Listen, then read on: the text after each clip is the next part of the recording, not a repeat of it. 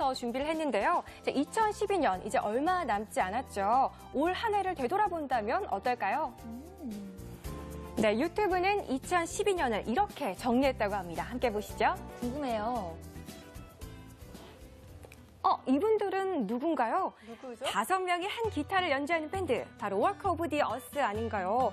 자, 그런데 어디서 많이 들었던 노래를 연주하고 있는 것 같은데요. 자, 이때 싸이가 등장을 합니다. 어, 네. 네. Rewind YouTube style. 어, 네, 이들이 연주한 노래는 바로 싸이의 강남 스타일인데요. 유튜브 10억 뷰를 돌파한 싸이의 강남 스타일이 올 한 해 유튜브를 되돌아보는 Rewind YouTube style 2012 동영상을 음악으로 이제 선정이 되었 네요. 자, 보시면요. 이제 친근한 얼굴들이 많이 등장을 하는데요. 네. 자, 뭐 오바마 대통령과 똑같은 Alphacat부터요. 오. 또 올 한 해 유튜브를 뜨겁게 달궜던 이제 인기 스타들이 총. 출동을 했는데요. 익숙한 얼굴들 많이 보이시죠? 네.